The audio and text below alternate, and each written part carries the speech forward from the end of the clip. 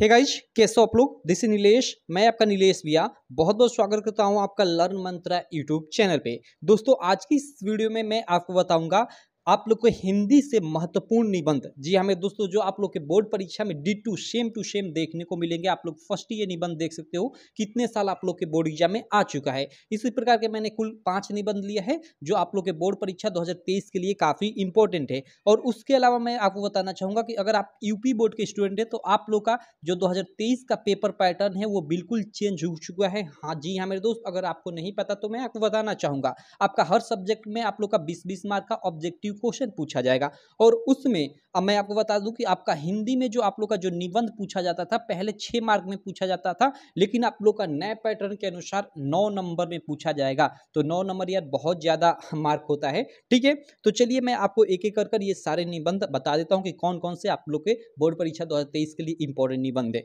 बाकी अगर आप चैनल को अभी तक सब्सक्राइब नहीं किया हो तो चैनल को सब्सक्राइब कर लेना और वेल आइकन को भी दबा लेना, जिससे मेरी सारी वीडियो की नोटिफिकेशन आपको मिलती रहे। तो देखो, जो पहला निबंध है, आप लोग स्क्रीन पे देख सकते हो, काफ़ी इंपॉर्टेंट निबंध है। स्वदेश प्रेम या इसको राष्ट्र प्रेम के भी नाम से आप लोग एग्ज़ाम में दे सकता है, या देश प्रेम। तीनों का लगभग मतलब एक ही हुआ, तीनों में से कोई है, आपको एक ही तरीके से लिखना होता है। तो इस चीज़ पे आप लोग तैयार कर सकते हो, स्वदेश प्रेम पे, राष्ट्र प्रेम पे, या फिर देश प्रेम पे। ठीक? और आप लोग देख सकते हो, ये दो हज़ार तेरह, ग्यारह, चौदह, पंद्रह, सत्रह, अठारह, उन्नीस, बीस और बाईस में आप लोग के बोर्ड एग्ज़ाम में आ चुका है। ठीक?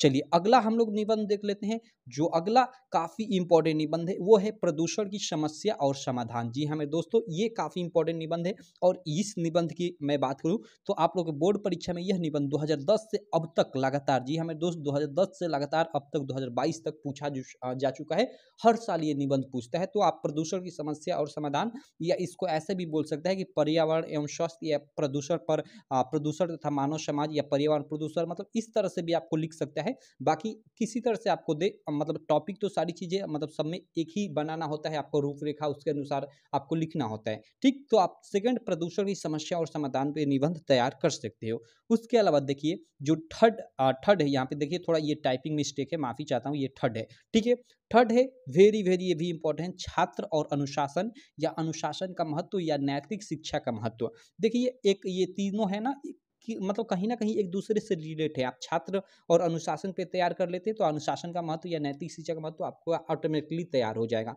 तो ये जो टॉपिक है, यानी छात्र का अनुशासन या नैतिक शिक्षा का महत्व या अनुशासन का महत्व, ये भी काफ़ी इंपॉर्टेंट है। मैंने इसको थर्ड नंबर पर रखा है। आप लोग देख सकते हो, ये इतने इतने साल आ चुका है।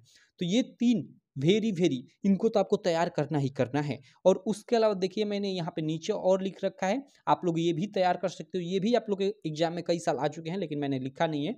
आप लोग चौथा, ये टाइपिंग मिस्टेक है, मैं पहले बोल चुका हूँ। ठीक है, चौथा, जनसंख्या वृद्धि एक अभिशाप, यानी जनसंख्या वृद्धि पे आप लोग को निबंध लिखने को आता है। ठीक है तो ये भी एक जनसंख्या वृद्धि जो टॉपिक है, काफ़ी इंपॉर्टेंट टॉपिक है।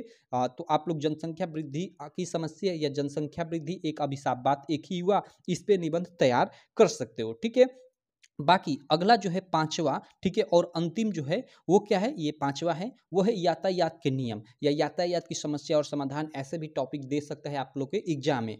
तो इसको आप लोग तैयार कर लेना। तो ये जो आप लोग के पाँच जो ये निबंध थे, मैं आपको बताना चाहूँगा कि बहुत वेरी वेरी इंपॉर्टेंट है। इनको आपको तैयार करना ही करना है आप लोग के एग्ज़ाम में। बोर्ड परीक्षा 2023 में डी टू देखना। डी टू एकदम सेम टू सेम फंसेंगे यही, ठीक है? बाकी अगर आप चैनल को अभी तक सब्सक्राइब नहीं किए तो यार चैनल को सब्सक्राइब कर लेना और वेल आइकन को भी दबा लेना, ठीक है? जिससे मेरी सारी वीडियो को नोटिफिकेशन आपको मिलती रहे और इस वीडियो को अपने सारे दोस्तों में भी शेयर कर देना, जिससे आपके सारे दोस्त भी देख सके और उनको भी इस वीडियो से जो भी हेल्प हो सके, हो जाए, ठीक? तो बाकी चलिए इस वीडियो में इतना ही। आशा करता हूँ ये वीडियो आपको काफ़ी अच्छी लगी होगी। वीडियो अच्छी लगी तो यार चैनल को सब्सक्राइब कर देना, वीडियो को लाइक कर देना और अपने सारे दोस्तों में फिर से कहूँगा, शेयर भी कर देना। तो चलिए मैं आपसे मिलता हूँ नेक्स्ट वीडियो में। तब तक के लिए थैंक यू।